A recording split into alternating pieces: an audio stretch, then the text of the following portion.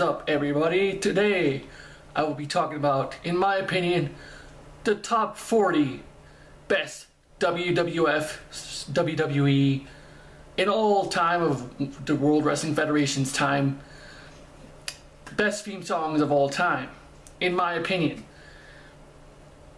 I'm going to be missing a lot of good ones because I only came up with 40 but I came up with more, but I had to cut that shit down because it would be in like a top 100 or a top 120 and or 200, and I cannot go all day long. So a bunch of stuff is going to be missed out, just to let you know. And also for you guys who want to know, might as well clear the room if you're wondering about it, because you're going to be writing in the comments anyway, like what's up with your fucking head. I was scratching my head a couple of days ago to the point where it bled.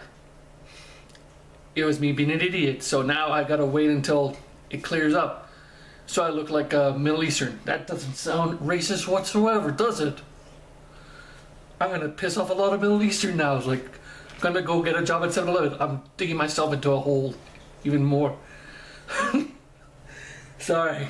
But anyway, let's start with the top 40 WWE theme, theme songs, in my opinion. Let's get started with number 40. Number 40 would be Demolition's theme song from back in the day.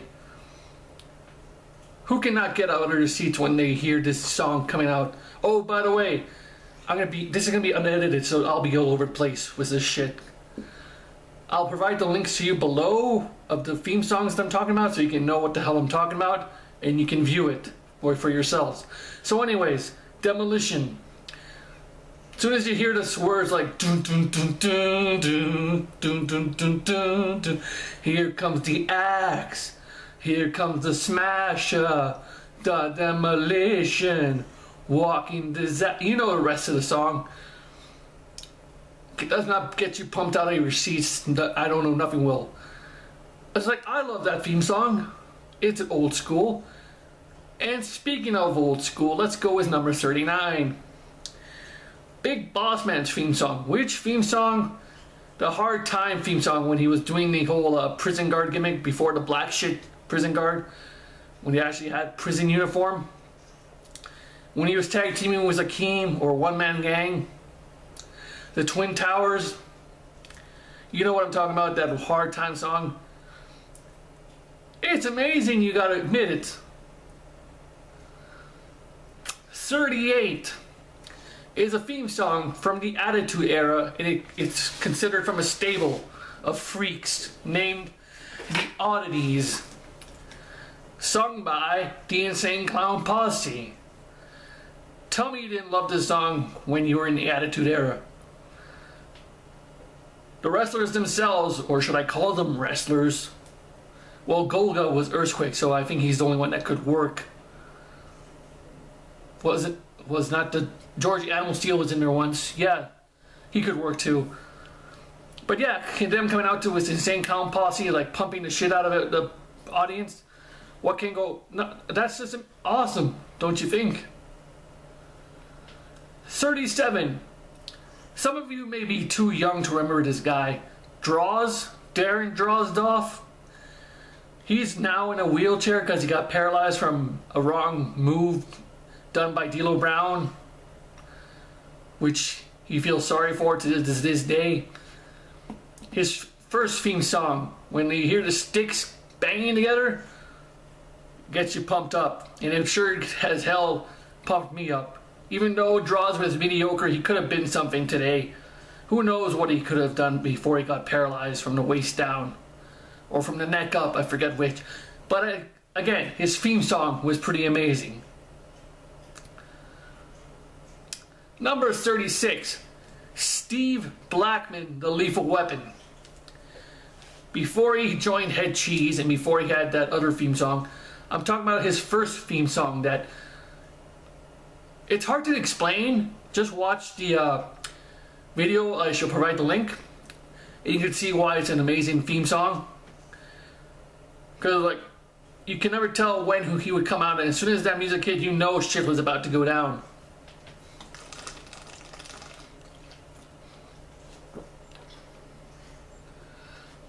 Number 35.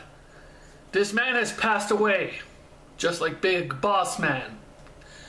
This is Test we're talking about, Andrew Martin. Not the theme song he used when he was in the corporation days, but after that. Test, this is a test with the rap in it, with the rapping.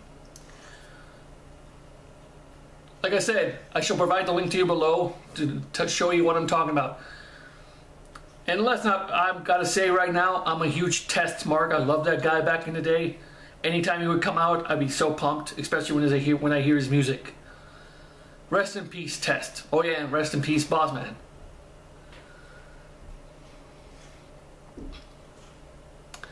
Number 34. Cactus Jack's theme song. As soon as you hear the Cactus Jack theme song, shit is about to go down and you know someone's getting hurt. And Mick Foley's gonna go all out. 33. Jake the Snake Roberts. I think he didn't get his theme song until he came back for a second time during like the 90s. Because I'm pretty sure during the 80s he had no theme song, but when he came back in the second time, when he was like sort of chubby and still uh, looking horrible, he had this amazing theme song that got into your head because it was very slow and silent, just like him. Gets into your head. Basically, that's what it is.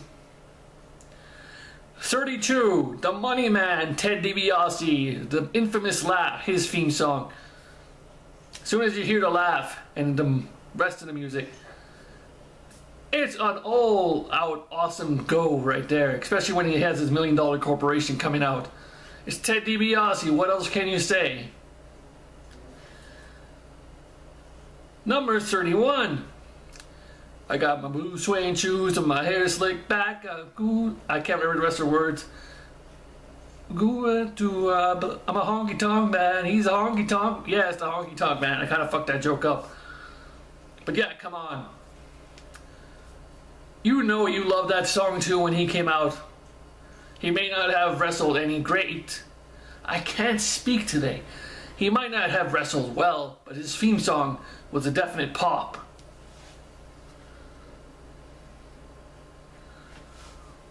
Number 30. Some may be thinking, what the fuck's wrong with me when I picked this one? But I'm just letting you know, it's not the wrestler, it's the theme song that got me pumped.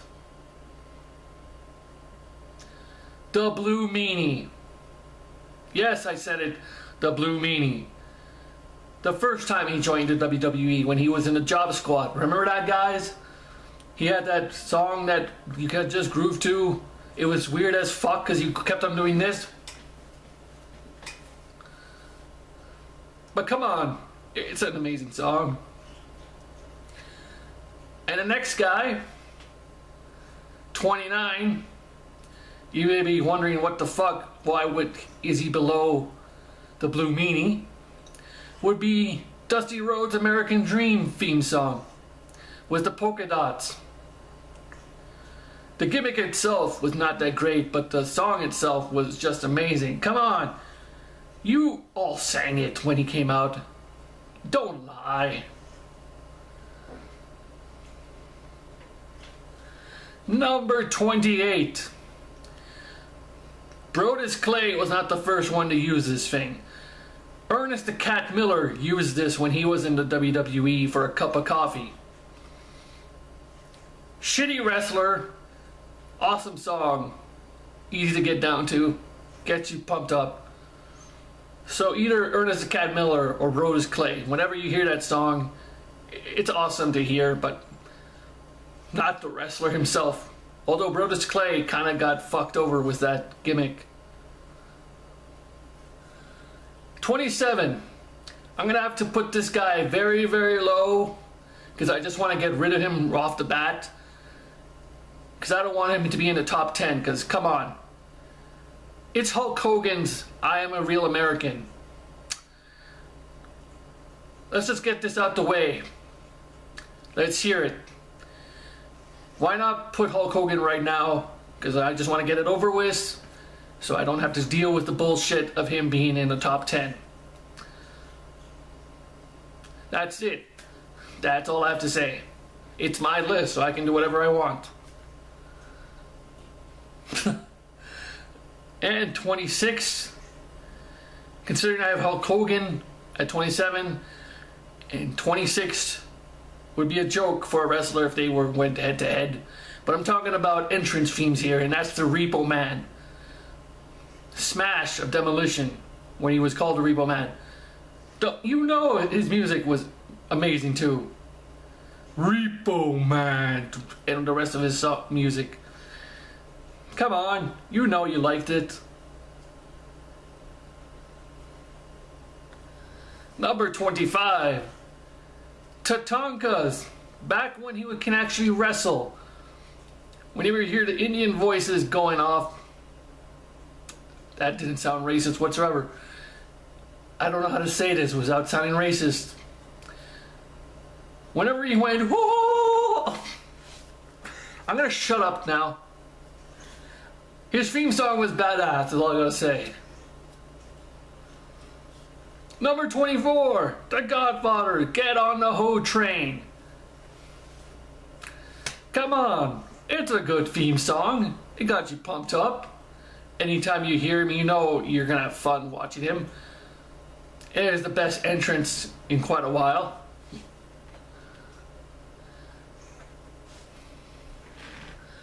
Number 23, any combination of the Hart Foundation when they come out to this song.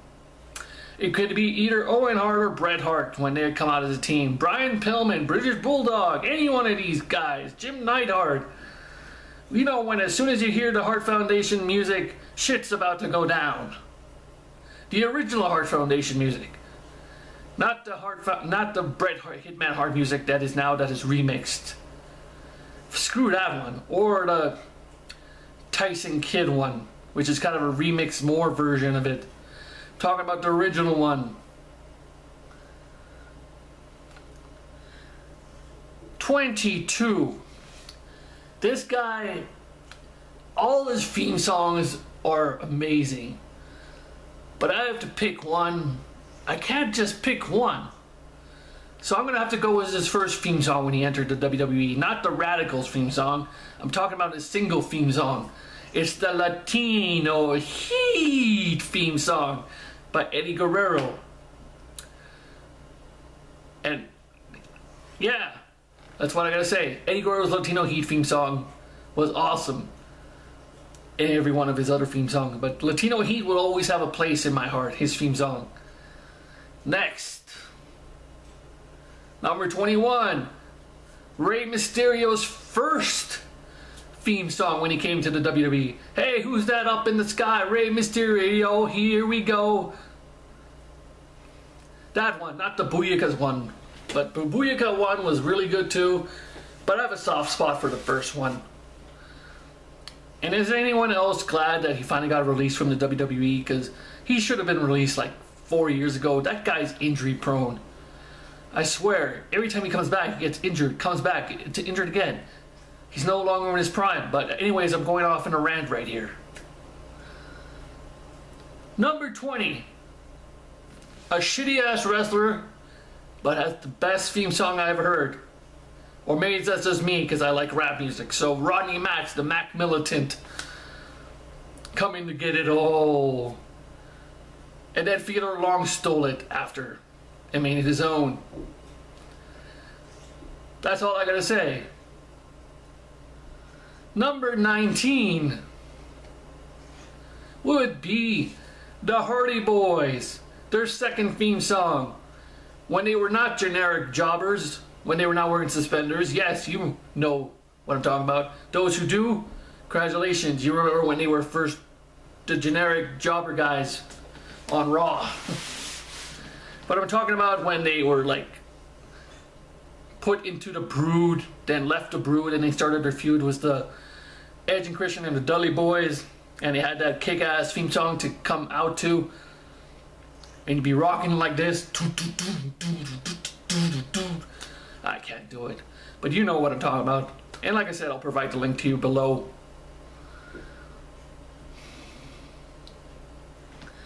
Number 18, the 123 Kid. Yes, I said it. Just listen to his theme song. It got me pumped. Even though he was a generic jobber, he still had a cool theme song. Number 17, it's time. It's time. It's Vader time. When you got the audience singing your theme song, you know it's an amazing song. And it's Vader too. Too bad he got jobbed out in the WWE. 16. Hardcore Holly. Before, not before where he, okay, let's start over. Hardcore Holly. The theme song he used when he first broke out of the Job Squad, won the hardcore title and became a hardcore badass. Before he joined Crash and became the Holly Cousins and started his own thing. That theme song in between was amazing. Then they changed it up a bit after a while, but I gotta say, that theme song in between, before and before all that shit happened, right after the Job Squad, that time era was amazing. And number 15, the Disciples of Apocalypse, otherwise known as DOA, which had Skull, 8 Ball, Chains, and Brian Lee the biker gang. Shitty wrestlers. Well, maybe Brian Lee and Brian Crush Adams were good, but not that great. But their theme song was amazing. Like I said, I'm only judging based on the theme song. And speaking of judging on the theme song, remember that when I say the next theme song to the next number. number 14. I'm going to say it anyway. Too much. For those of you who are, who are too young to know what the hell I'm talking about, Too Much is now known as Too Cool. Grandmaster Sexy and Scotty 2 Hotty. Before they became Too Cool, they were the gay tag team known as Too Much. They actually played a gay tag team, but they never said they were gay. Their theme song, on their other hand, was pretty badass. It seemed like one of those theme songs where you can put in a Beverly Hills Cop movie or any Eddie Murphy movie. I think I swore to God, I think I did hear one of these one of these one of the theme songs in an Eddie Murphy movie. I just can't remember which one. Or they could put in like a John Claude Van Damme movie, like or any early '90s or late '80s action movie. It just got you pumped a bit. Not a bit, a lot, is what I gotta say. Now the next one was the ultimate badass. Ministry of Darkness. Holy shit, that theme song was amazing, is all I gotta say. Watch the link and you'll have you'll remember what the hell you were thinking of when you were first seeing this. Number 12, the world's most dangerous man, Ken Shamrock As soon as you heard the music, the first note to this song, you know shit's about to go down. Cause Ken Shamrock, cause Ken Shamrock is about to kill your, kick your ass. Seriously, I can't speak. Water break.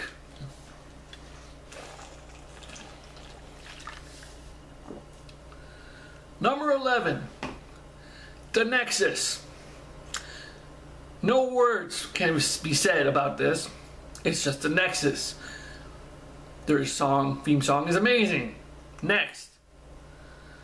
Number 10, Sexy Boy Shawn Michaels. Um, the song plays itself, man. What else can I say? There's nothing bad about this thing. Except for like the first version where Sherri Martel sang the first three notes, which kind of sucked, but the, later on they changed it to Shawn Michaels doing it. That was better, in my opinion. I don't know. Which one did you like? Sherri Martel's version or Shawn Michaels' version?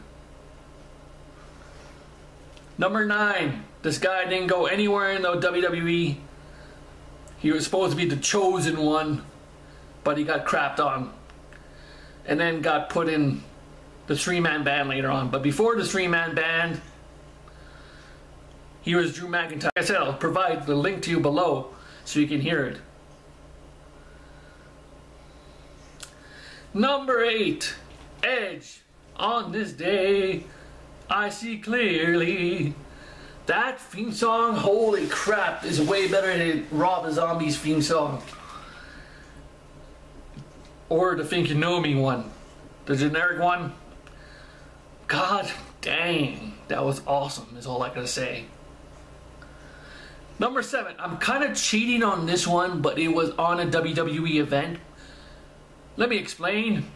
The first ECW One Night Stand, which was supposed to be ECWs and all that stuff, but WWE guys showed up, so it was technically still a WWE show.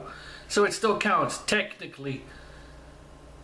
Sandman's Enter the Sandman. Come on, Metallica. How can you go wrong? Like I said, it's a sort of a cheat, but it was on a WWE show under an ECW name.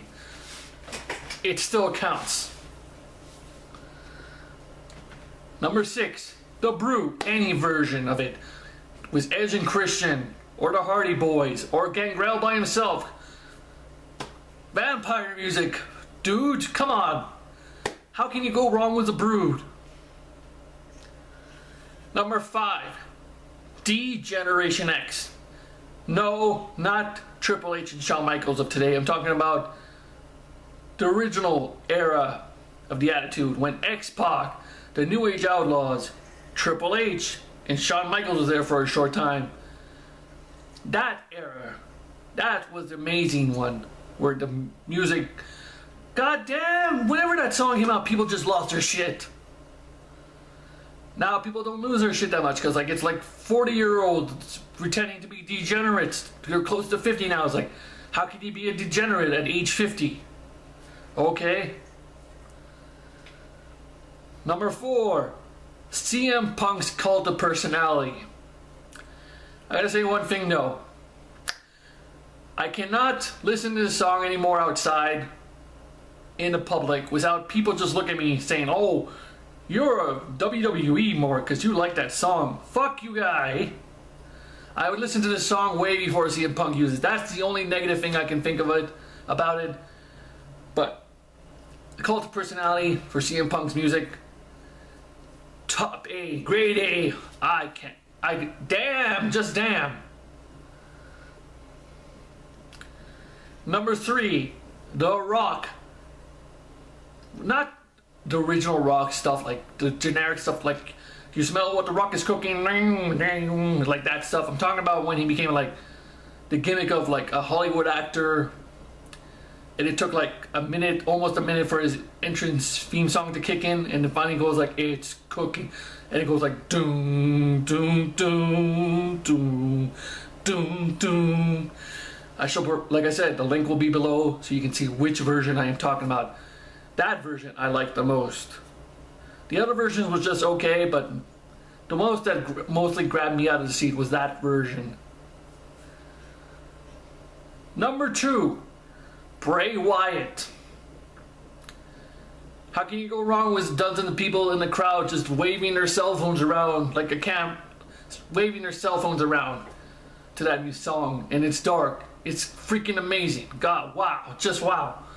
And number one, of course, we all know who it is, but I gotta say, before I say it, I missed out a lot, like Triple H, Chris Jericho, Macho Man, Ric Flair, Mr. Perfect. But like I said, I missed out a lot, and it would have been a top whatever list. But I think I can make another list for another day. But anyway, on to number one. We all know who it is Stone Cold Steve Austin. As soon as you heard the glass shatter, shit's about to go down because a bad motherfucker was about to come out and just kick your ass. But anyways, what are your guys' opinions on the best theme songs? Take it easy, Humanoid Nation. Humanoid Freak Out. Bye.